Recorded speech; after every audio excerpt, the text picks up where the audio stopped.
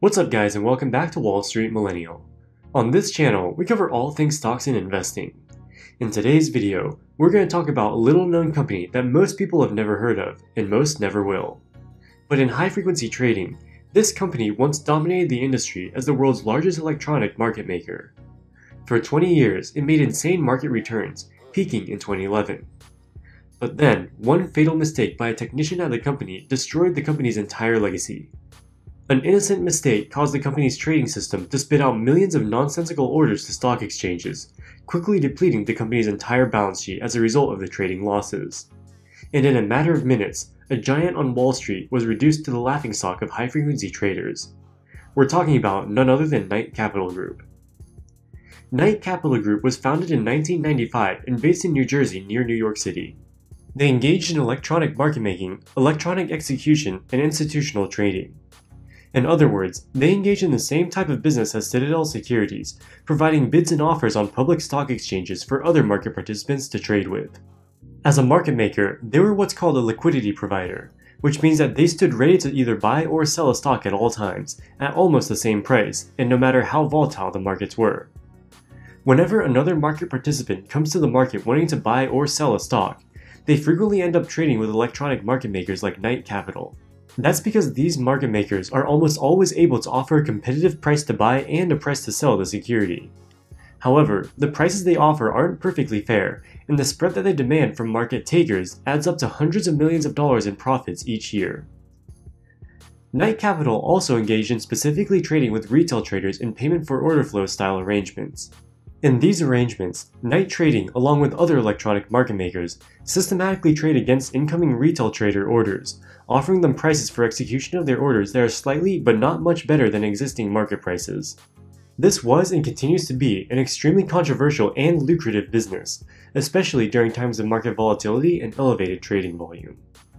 In the late 2000s and early 2010s, Knight Capital was the largest trader of US stocks, they had nearly 20% market share in market making on both the New York Stock Exchange and the Nasdaq Exchange at their peak. They had multiple offices in New York, London, Singapore, Hong Kong, and many other places. They were actually one of the few publicly traded market making companies. That's how we know how much money they actually made, which was usually in the hundreds of millions of dollars in profits, until 2012.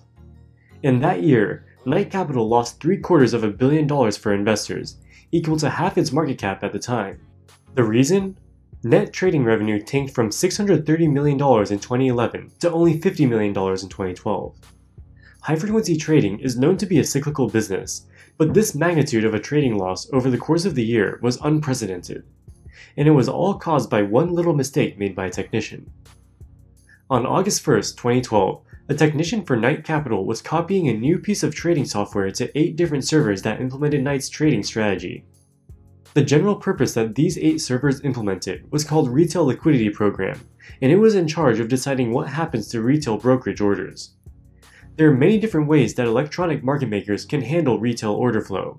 For instance, they can decide to trade against it, providing a better price or equal to the current best market price, or they can send it to one of several different exchange trading routes. The Retail Liquidity Program is the trading system that Knight used to decide which of these routes retail orders are sent to in real time. On August 1, 2012, a technician for Knight was upgrading the retail liquidity program logic for Knight Capital on 8 servers that it was running on. However, he somehow missed one of the 8 servers and left it running the old computer code.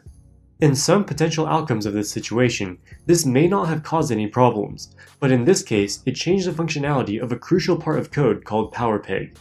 PowerPeg was a system that put out money-losing trades in the market in order to verify that Knight's trading algorithms were working properly. However, the new trading system that Knight Capital rolled out used the same flag that PowerPeg was set to, meaning that PowerPeg was triggered at random times during live trading when it wasn't supposed to be. The next day, when Knight Capital's trading systems went online in live trading, PowerPeg was triggered millions of times. The outcome was 4 million stock order executions in 154 different stocks, amounting to nearly 400 million shares traded. After 45 minutes, the mistake was noticed and Knight's trading systems were frozen. But it was not before those 400 million shares had traded and incurred substantial trading losses. Knight's rogue trading systems caused a major disruption in the New York Stock Exchange stocks that it was trading. One stock that it was trading, called Wizzard Software Corporation, saw its stock shoot up more than 300% from $3.5 a share to $14.75 a share. Obviously, such an uncontrolled market moving trading frenzy was not profitable for Knight Capital, and other high frequency traders were surely picking off Knight Capital's positions the whole time, adding to the losses.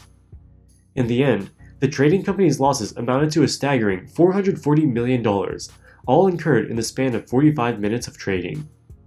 At the time, Knight Capital had a market cap of about $1.5 billion.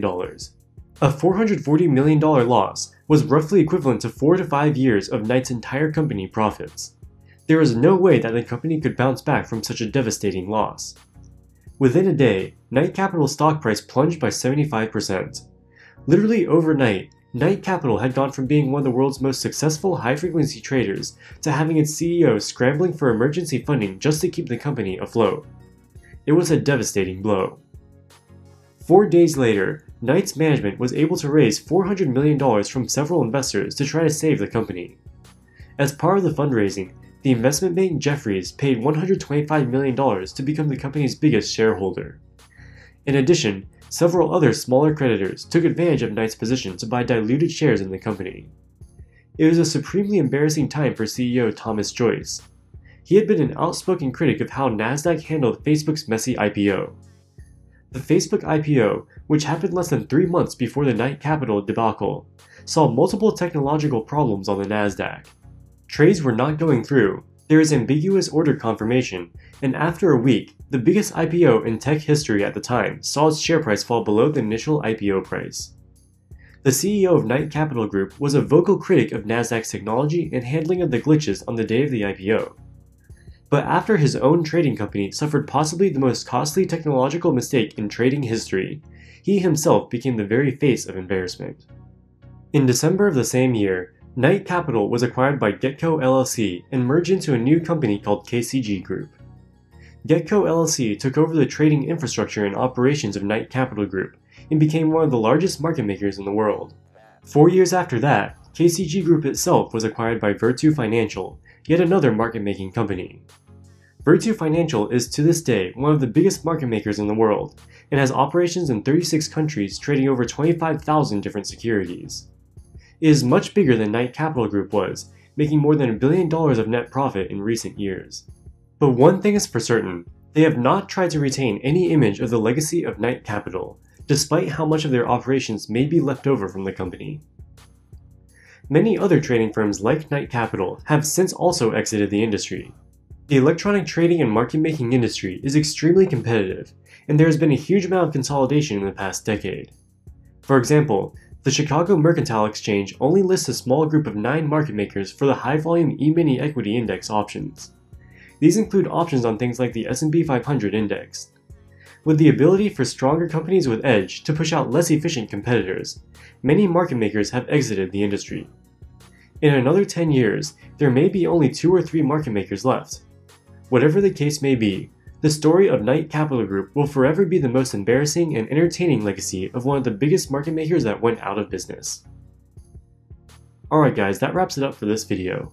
If you like the content, make sure to smash that like button and subscribe for future videos.